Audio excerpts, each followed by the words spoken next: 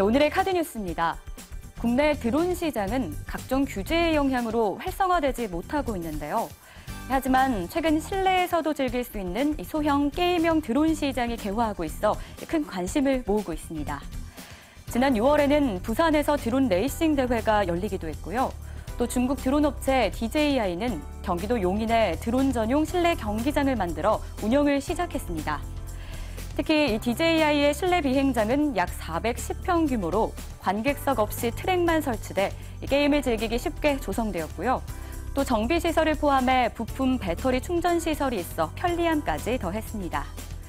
또 국내 드론 업체인 바이로봇의 경우에는 격추 battle을 할 수 있는 소형 드론, 드론 파이터를 개발했습니다.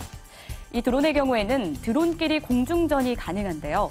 적외선을 상대 드론에 발사해 승패를 가리는 것이 특징입니다.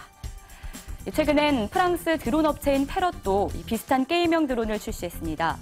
패럿이 국내에 선보인 미니 드론 두 종은 드론 레이스와 운반, 총쏘기 등의 게임을 즐길 수가 있습니다. 그리고 이 드론을 더 실감나게 즐길 수 있도록 관련 액세서리들도 속속 등장하고 있습니다. 페럿은 관련 스마트폰 애플리케이션을 개발했고 고프로도 드론 전용 컨트롤러를 공개했습니다. 이처럼 이용자들이 드론을 게임처럼 즐길 수 있는 분위기가 만들어지고 있는데요. 소형 게임형 드론 시장이 커지면서 앞으로 관련 시장의 성장도 지속될 것으로 기대되고 있습니다. 지금까지 TV로 보는 카드뉴스였습니다.